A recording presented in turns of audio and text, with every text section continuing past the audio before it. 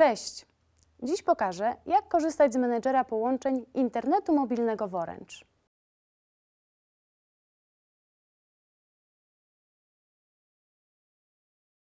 Zanim rozpoczniesz instalację menedżera połączeń, upewnij się, że Twój komputer spełnia wymagania techniczne i systemowe.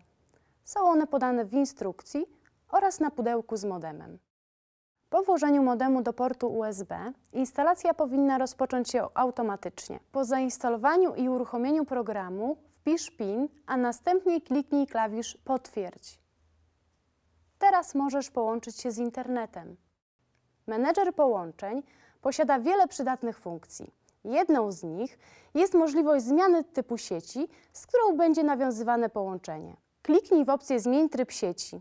Niedostępne technologie są zaznaczone kolorem szarym.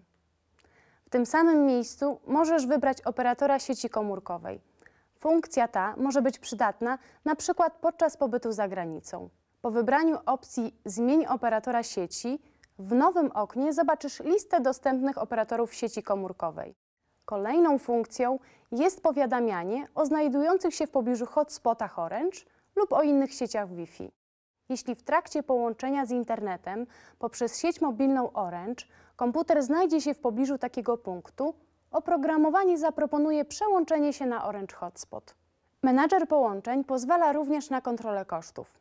Za pomocą aplikacji możesz sprawdzać ilość danych przesłanych w miesiącu. W tym celu z głównego menu wybierz polecenie Zarządzaj licznikami i limitami. Funkcja ta pozwala na przeglądanie statystyk połączeń w bieżącym miesiącu oraz w miesiącu poprzednim. Możesz tu także wprowadzać limity danych, które chcesz wykorzystać w danym miesiącu.